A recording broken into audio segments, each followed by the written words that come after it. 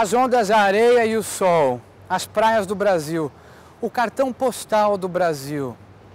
Com a chegada da Copa do Mundo, com a vinda dos Jogos Olímpicos, com o fortalecimento da moeda e da economia, com todos os investimentos que estão sendo destinados à indústria de turismo e hotelaria no Brasil, por que não também tornar o serviço um dos cartões postais do Brasil?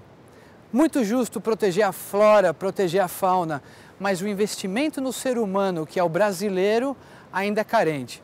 É o momento agora de igualar as capacidades do funcionário de hotel do Brasil ao cartão postal que nós temos.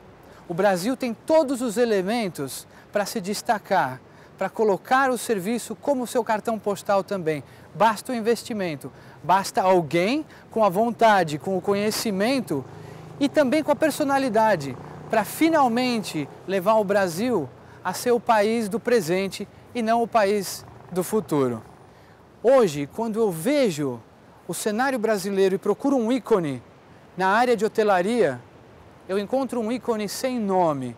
E é isso que nós queremos fazer. Nós queremos vir para o Brasil, treinar, instruir, dividir o conhecimento e, consequentemente, colocar o nome nesse ícone que ainda não foi preenchido no Brasil.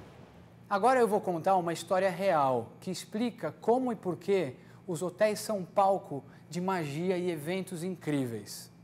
Alguns anos atrás, quando eu gerenciava um hotel cinco estrelas em Bond Street, em Londres, recebi uma ligação do dono, preocupado com a vinda do príncipe Dmitry Romanov, príncipe da Rússia, que ia se hospedar no hotel. E eu avisei: nós vamos surpreender o príncipe. Fiz uma ligação para o Palácio de Buckingham, onde eu tenho um conhecido que sempre me dá algumas dicas a respeito realeza, suas preferências e as coisas que não gostam. De todas as coisas que esse meu colega me disse, eu me ative a uma. A música que o príncipe gosta mais. Concerto Piano número 10 de Tchaikovsky. E eu resolvi que quando eu entrasse no quarto do hotel, acompanhado do príncipe e da princesa, a música estaria tocando. Mas eu queria que a música tocasse nos seus primeiros segundos. O impacto era esse. Como fazer? Como proceder? Muito simples. Chegada do príncipe prevista para as duas da tarde na porta do hotel. O que nós fizemos? O CD preparado no quarto, pausado, com um dos meus colegas esperando, esperando a ligação de baixo, avisando que ele podia apertar o pause e sair do hotel para a nossa entrada com o príncipe cronometramos quanto tempo demoraria abrir as portas do carro, levar o príncipe até a porta do elevador, do elevador pelo corredor, até chegar no quarto. Cronometramos minuciosamente para quando eu entrasse no quarto, a música tivesse no seu início. E não foi errado.